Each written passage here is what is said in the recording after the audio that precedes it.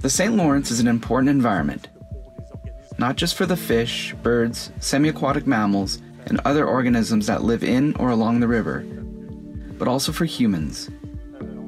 Humans have occupied the shores of the St. Lawrence for hundreds, if not thousands of years, and the river is an important transportation route that influenced early settlement and the subsequent development of towns and cities along its length.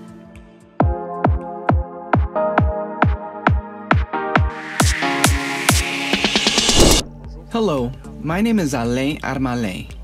I'm a project manager at Environment and Climate Change Canada with the Water Quality Monitoring and Surveillance section. My job involves biomonitoring in the St. Lawrence River. My indicator uses what are called benthic invertebrates insects, worms, and mollusks that live in the littoral zone and in the wetlands, among cattails and other types of aquatic vegetation.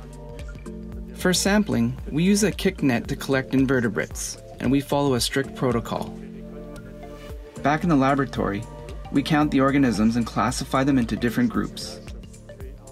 These benthic communities are associated with certain physical and chemical parameters related to water quality, including the level of nutrients such as nitrates.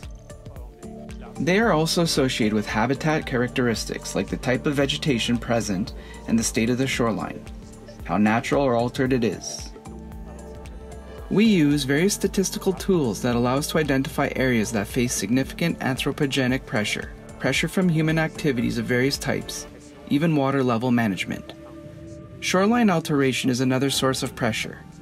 Alteration can result from something as simple as building a wall on parts of the shoreline or releasing nutrients into the water. The indicator I use allows us to check whether riparian habitats have remained healthy in spite of degradation and continue to support healthy invertebrate communities, insects, worms, and other organisms in sediment. Usually, a community of living organisms is considered to be healthy if it is in balance. In other words, it is not dominated by a particular group of organisms.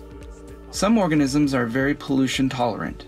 If these organisms are present in large numbers, this is a sign that the community is exposed to stress. With this knowledge, we can identify measures that should be implemented, such as source reduction or perhaps shoreline renaturalization. This can lead to or allow us to take actions that will benefit the environment.